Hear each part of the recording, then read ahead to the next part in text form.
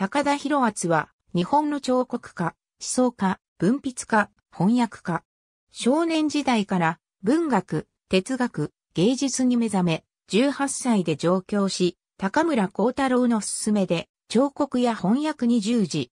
31歳で、フランスに渡り、ロマン・ロランやアラン、ポール・シニャック、ジョルジュル王をはじめとするヨーロッパの優れた知識階層と交流する。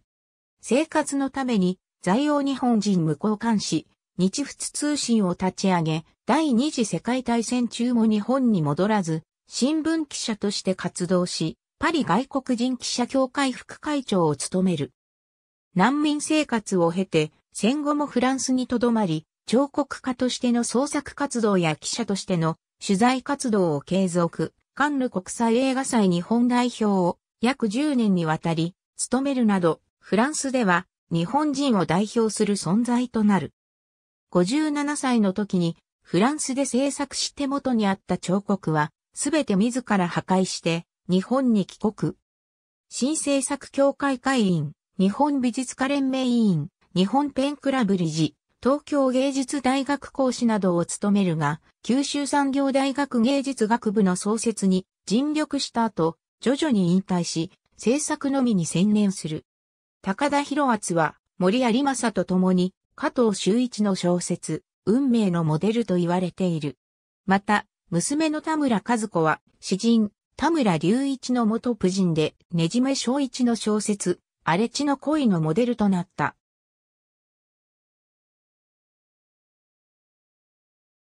広厚高田新著者1962から3、日仏通信近年観光の審判商品集をまとめた著作資料等、高田広厚と出会う。2017年、高橋純名誉教授による埼玉県東松山市での講演全文をたる消化、大学学術成果コレクション伝説、事実、真実そして、あるいは文学、ロマン、ロランイコール高田博厚往復書簡発見に触れて、小樽商科大学学術成果、コレクションロマン、ロランイコール高田博厚往復書簡クロノロジー、高橋淳、小樽商科大学学術成果コレクション80年、前の目撃者の証言、高田博厚著、ロマンロラン、高橋淳、小樽商科大学学術成果コレクション、世界最小新聞社社長、ユマに手紙に登場した高田博厚、高橋淳、小樽商科大学学術成果コレクション森有正の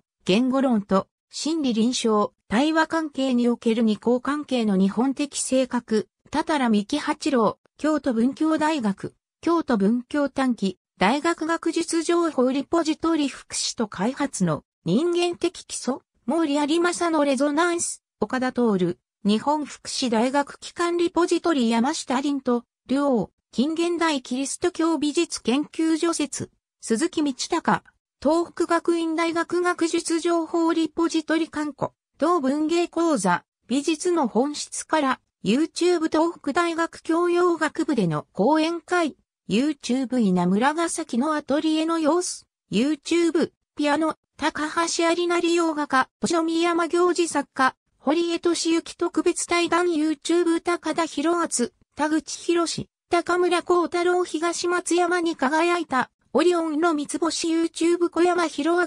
高村光太郎連業機運営委員会代表士で、試作するということを、高田博厚の生涯と思想を YouTube 宣言用、西田北郎記念哲学館館長彫刻のモデルになる YouTube 室町澄子、元 NHK アナウンサー。ラジオ深夜便アンカー新事実、ロマンロランと高田博和通信発見の日記、書簡から YouTube 高橋淳、小樽商科大学名誉教授朗読コンサート、YouTube 朗読、目沼彩子、バイオリン、渡辺健二、チェロ、井村かなえだ、ピアノ、高橋有成、日仏で活躍した彫刻家、高田博厚の足跡たどる、東松山市総合会館で18日まで、東京新聞。http://www.tokyo-np.co.jp スラッシュ article スラッシュ埼玉スラッシュリストスラッシュ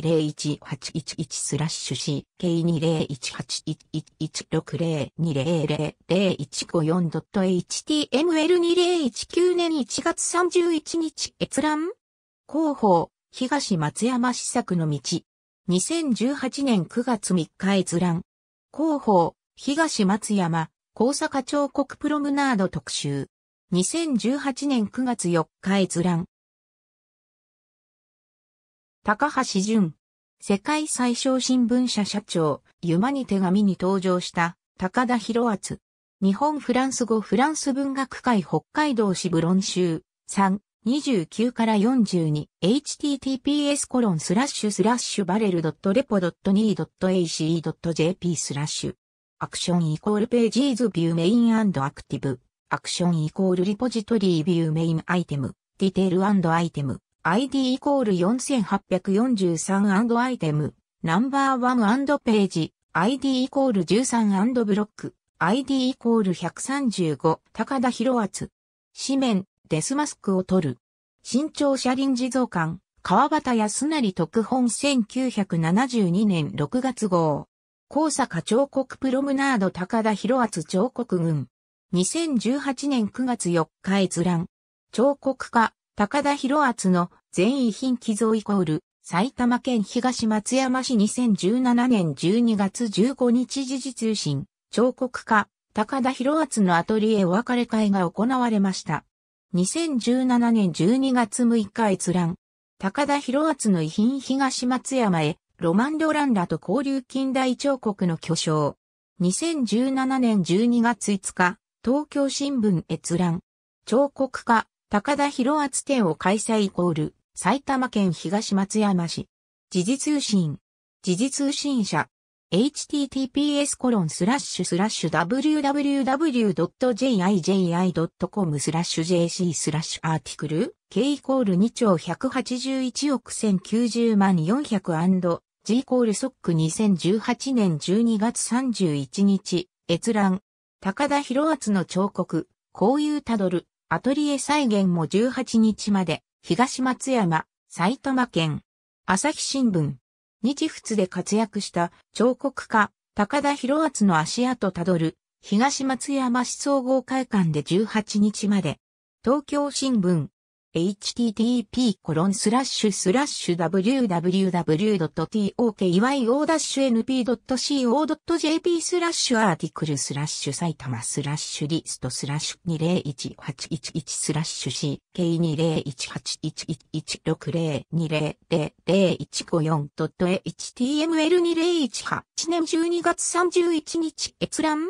日本近代文学関連誌。第14号2019年3月間。公益財団法人日本近代文学館。2019年9月15日閲覧。片山俊彦文庫。公益財団法人日本近代文学館。2019年9月18日閲覧。日仏通信。公益財団法人日本近代文学館。2019年9月18日閲覧。ありがとうございます。